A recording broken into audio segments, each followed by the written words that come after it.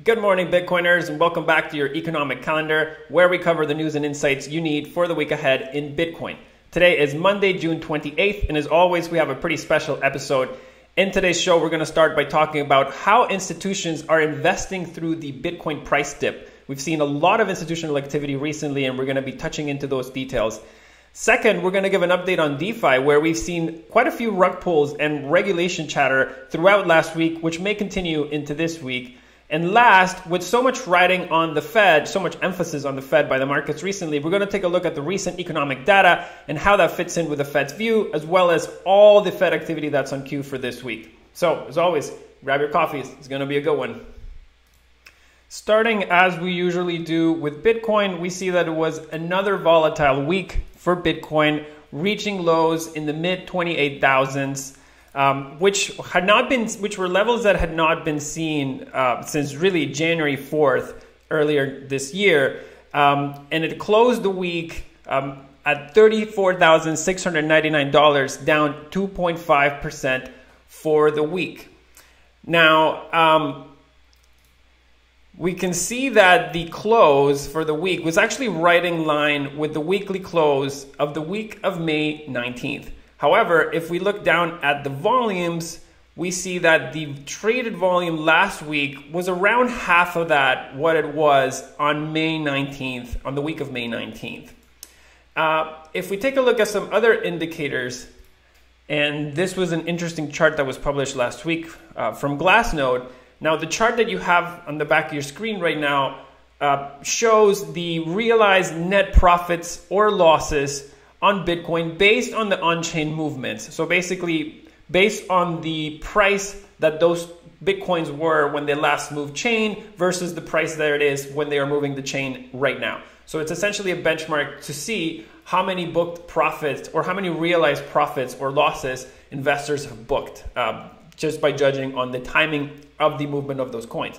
So as we can see here, while the traded volume from last from this last week was nowhere near the traded volume in the week of May 19th, what we can appreciate is that the realized losses um, essentially are reaching a maximum point. Now, this, to put it in context, we have seen more realized losses, or we saw more realized losses last week than we did in the week of March 2020. Now, when investors book uh, these types of losses, and as you can see from the graph here, whenever there are big spikes down, uh, that can be interpreted by some as capitulation in the market. And essentially, a lot of investors giving up their positions just because they did not have the means to maintain them and giving opportunities to other investors to step in uh, and purchase those with more conviction or a potentially lower uh, base so that they can be in it for a longer period of time. On that precise topic, this price drop has provided a or created a good buying opportunity for opportunistic long-term investors. And the article you have on your screen right now is essentially the listing or report that came out last week from Cathie Wood's ARK Invest, who actually made quite a few moves last week during the price dip. And um, to highlight some of those price dips, uh, ARK Invest added 1.2 million shares of GBTC to its holdings, bringing GBTC now to be the seventh largest holding in their fund accounting for 4.2% of their total assets. Similarly, in the article behind you, you, it also notes that ARK Invest added another 280,000 shares of Coinbase, making Coinbase the 10th largest holding in their portfolio at 3.5% of their total assets. These are strong conviction buys. Now, again, in the topic of institutional investor conviction, um, we see that Andreessen Horowitz raised a $2.2 billion crypto fund and said that it is radically optimistic despite the price fluctuations. Um, now, these are signals that institutional investors are not seeing Bitcoin or crypto as a passing trend, and they continue to invest heavily in the infrastructure layer, which is a testament to the long term potential they see in the space. Now, looking back at some of the market fundamentals for Bitcoin, um, what you have on your behind your screen right now is the futures curve for the Bitcoin uh, futures markets. Now, looking at this curve, you see that we are still seeing backwardation across the board for July and quite a bit of August. So again, backwardation is when the price for the future contract of that month is trading below the spot price today. Typically in Bitcoin, we tend to see a contango, which is all subsequent months are priced higher than spot. Right now, we are not seeing that. We're continuing to see backwardation on the futures curves. Additionally, the perpetual swaps funding rates are all consistently consistently negative. They were last night at the time of writing. We can do another check again this morning. Uh, but the futures rates, yeah, and so we see here that the futures rates are squarely negative across the board. Kraken, Binance, uh, be pretty much all major exchanges are showing negative funding rates for the perpetual swaps. Um, we're going to talk about this and a few more fundamentals in our what's ahead section later today. However, these typically, so the backwardation and the negative funding rates on the perpetual future swaps tend to mean that the market expects some sideways to lower price action in the near future. Moving over to the S&P 500, we see that it was a great week for US equities the S&P last week booked a fresh new all-time high of 4,286 points, uh, and it was up 3.20% for the week. Now, the Nasdaq, looking back at the Nasdaq, it also booked a fresh all-time high last week, closing up 2.10% at 14,345 points. And we also saw the Dow Jones Industrial essentially had a pretty good week, up 3.44% at 34,433 points. However, it did not reach all-time highs the way the S&P and the Nasdaq did. Now, as we covered last week, um, wanted to put in this headline behind your screen right now. Um, as we covered here last week, markets rallied higher on Friday, which th- there was supposed to be a very important day, and that day was the a release of the personal con- personal expenditures consumption reading for May in the United States. Now, that reading in May came in at 3.9%, lower than the Fed's target for 2021 of 4.3% and way lower than than May's 5% consumer price index jump. So, if we take a look at the markets here, and zoom out to the daily, we see that the markets rallied into a fresh all time high on Friday, basically on the back of that news. And um, uh, again, somewhat to be expected, as what this means is that inflations are coming in essentially below the Fed targets, at least on the PCE uh, level. And that appeases the markets because it essentially reinforces this view of potential transitory inflation.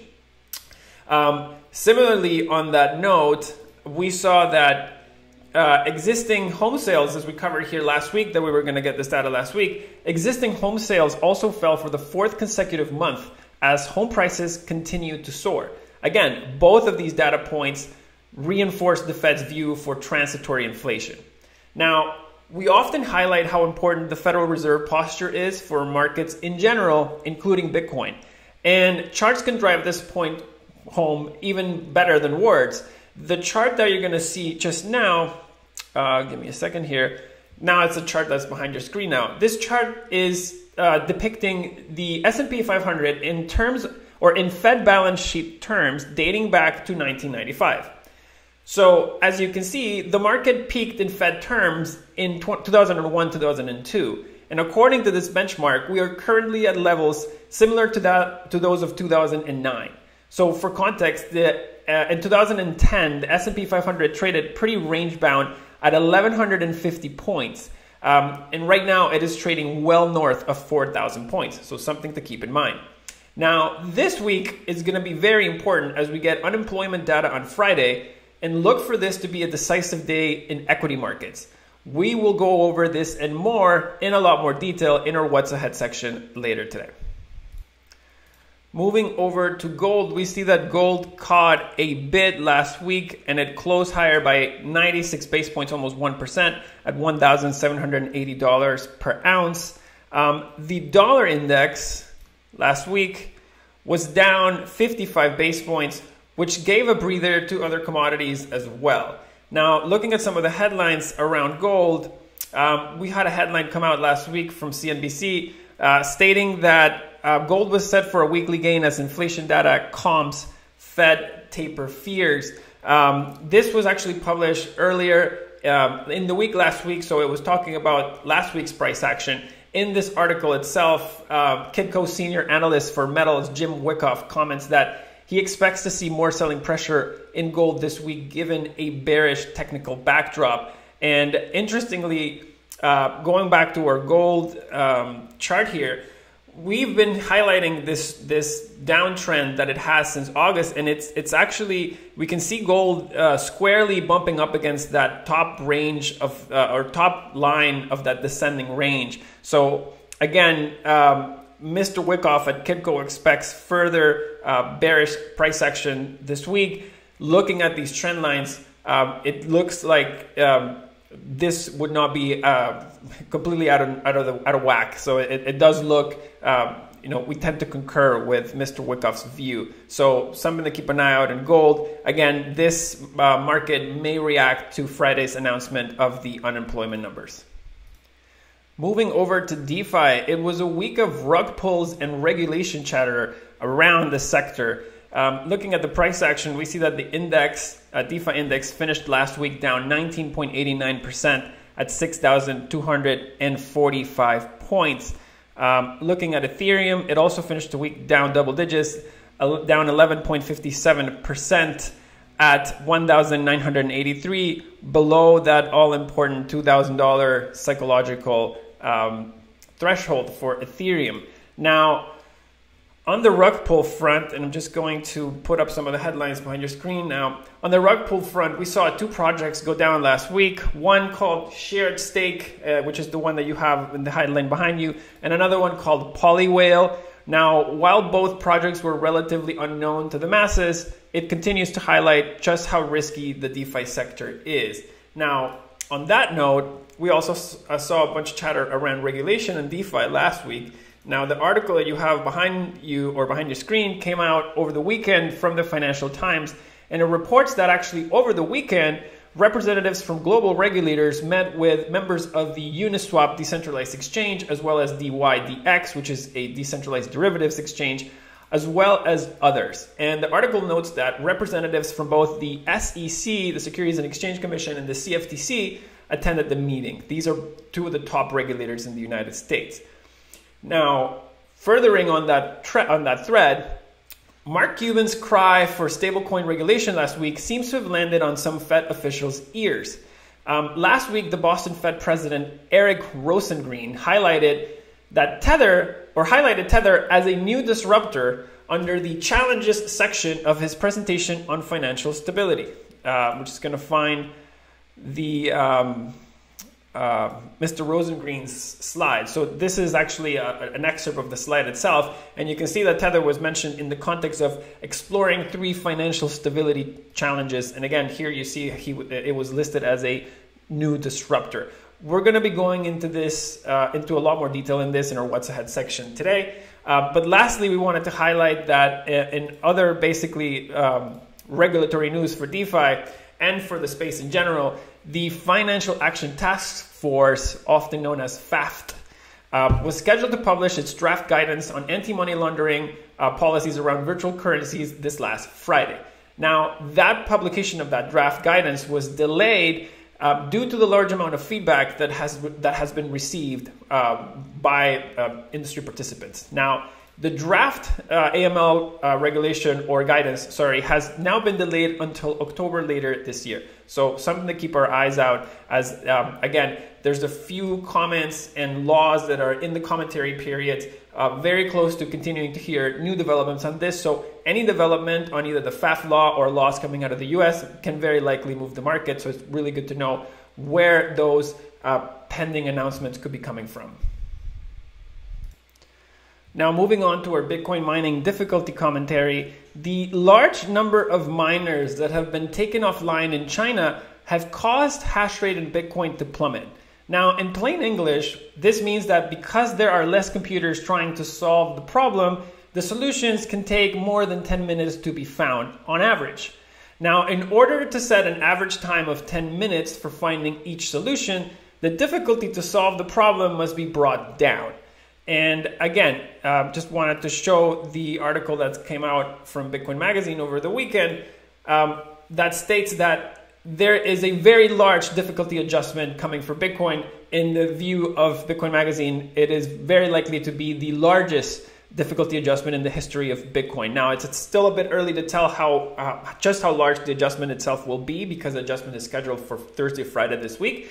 But based on the data, it looks like it very well could be the largest downward adjustment for for Bitcoin difficulty in its history. Now, what does this mean? Not much really to the end user of Bitcoin, other than the fact that blocks will now be produced much faster. And then the added takeaway for that is that the miners that are still active will now have a higher chance of average revenues as there are now less computers competing to solve the same blocks and to earn the same rewards. Now, as always, we leave you with what's ahead for the week. So, as we've, as we've mentioned, the cooling off in the personal consumption expenditures index that we saw last week, as well as the four consecutive drops in new home sales, in addition to the free fall in lumber prices that we are seeing, are all reinforcing this transitory inflation view from the Fed. Now, with all that said, we are starting to see some subtle tapering signals from the Fed. One such tapering signal is what's happening in the reverse repo facility. So, the Fed's New York Bank raised the rate on its reverse repo facility to 5 basis points from 0%. Now, this is the Fed's overflow facility to prevent negative interest rates. In this facility, banks can lend the Fed cash by purchasing treasuries from the Fed's reverse repo facility and then having the Fed buy them back on the next day. This gives the bank a place to park their money now at above 0% interest rate.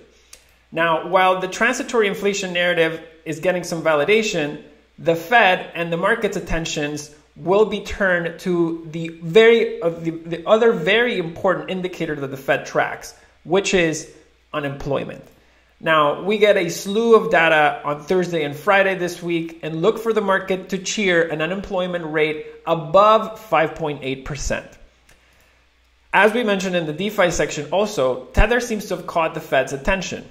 The fact that the Boston Fed president, Rosengren, dedicated one full slide to Tether's balance sheet signals that they are not just glancing at it. And here is an excerpt of the uh, slide that Mr. Rosengren showed in his presentation. Now, while anything the Fed does will take a long time to play out, we're starting to see some interesting moves uh, for Tether in the market. One such move is the graph you have behind your screen right now last week saw the largest Tether inflows into exchanges since 2019. Now, while this could just be a coincidence, it will be interesting to keep an eye at Tether flows and on the market capitalization of other stablecoins, namely USDC, in the context of all this news flow uh, around Tether. Um, we will likely learn more about the Fed's view on stablecoin in today's speech by Randall Quarles um, and the rest of the week is also full of economic data. So let's go summarize what's ahead for this week in terms of Fed activity. So to summarize it, on Monday, today at 9 a.m. Eastern, we get New York Fed President John Williams at the Bank for International Settlements panel. So again, just the market will be listening intently to all Fed officials or representatives in their public appearances. At 1:10 p.m. Eastern, we get Vice Chair for Supervision Randall Quarles giving a speech about central bank digital currency at the 2021 Utah Bankers Association annual convention. That those will be the two main events for today. Now, tomorrow, Tuesday, 9:30 a.m. Eastern, we get Richmond Fed President Tom Barkin doing an interview, and on Thursday we have at 8:30 a.m. Eastern initial and continuing jobless claims. This will be very important. The market will be watching this intently because a lot of the information on this Thursday data point could feed into Friday's unemployment rate announcement, which brings us to Friday. There's a lot of unemployment data coming out on Friday at right at 8:30 a.m. Eastern. The most closely watched will be the actual unemployment rate itself. So again, lots of riding on that unemployment number. Big week of economic data coming out. And as always, we will keep you posted of all relevant information right here on your Bitcoin economic calendar and in our social media at HODL with Ledn. If you have any questions and comments on the materials that we covered today, I welcome you to leave them down in the comments section uh, and we'll try to include it in our next episode. If you learned something today, if you enjoyed, enjoyed the show, I welcome you to like it, subscribe it, and share it with your friends. If you don't yet have a Ledn account, I welcome you to check out Ledn.io and learn how you can start earning 9.5% APY on your USDC and 6.1% on your first two Bitcoin. We also have market leading rates on our loans at 9.5% interest. So check us out at Ledn.io. Thank you, everybody. Have a wonderful week and see you next time.